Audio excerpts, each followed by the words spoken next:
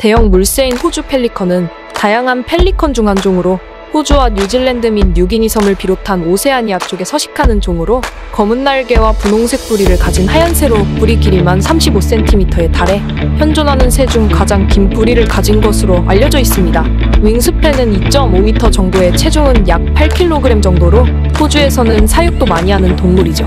호주 펠리컨은 주로 조밀한 수생식물이 없는 넓고 탁 트인 물가를 좋아하며 수면에서 수영하며 다이빙을 통해 물고기를 주로 사냥하지만 갈매기나 청동오리, 비둘기 등 다른 새들을 잡아먹기도 하며 파충류나 양서류, 작은 포유류까지도 가능하면 잡아먹는답니다. 호주 펠리컨은 개체수는 많아 IUCN 적색 목록에서 가장 관심 없는 종으로 평가되고 있습니다.